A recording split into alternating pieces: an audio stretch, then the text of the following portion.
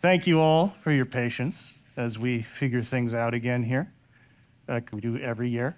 But uh, I have to say, it is really, really good to see all of you here again. It's this uh, the the vibe, the the energy, having all these bodies back in this space is is just um, it's a tonic for me. Uh, we've been doing this a long time now, and uh, it feels like we're getting back to something that we kind of you know have had missing from uh, from my life at least for the last couple of years. So that's down to you folks. Thank you for being here.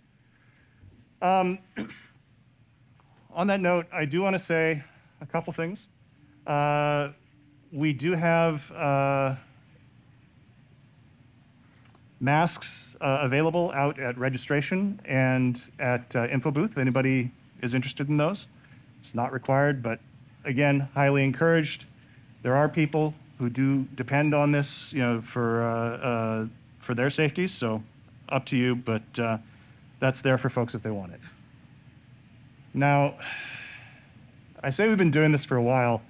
One of the things that we have been doing for a while is uh, I am the cavalry. Right? This is a, a, a movement, a groundswell, a, uh, a bottoms up, you know, answering the call and the need of society that started here and has kind of grown with us. It's grown beyond us. It takes place many different places, many different uh, things during the year. It uh, takes place in you know small ways. It takes place in the halls of power in Washington D.C.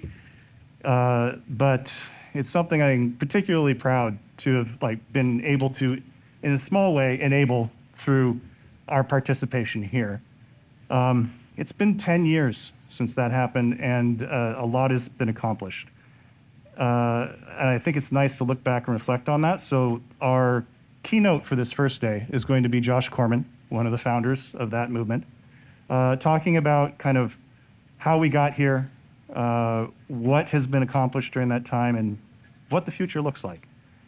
Uh, and it's just one of the things that we do here. I, I, I love, I love uh, what Jack Daniel has always said.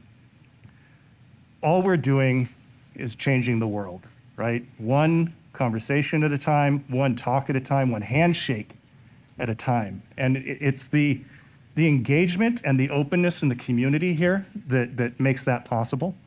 Uh, I love to just, just the, the welcoming vibe that you all provide. So please, if you can do anything while you're here for the next two days, make a new friend, have a conversation with somebody that you've not had a conversation with before.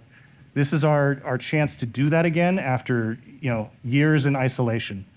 So uh, just I, I want to applaud you for what you've done so far and for what you're going to do this week. Thank you.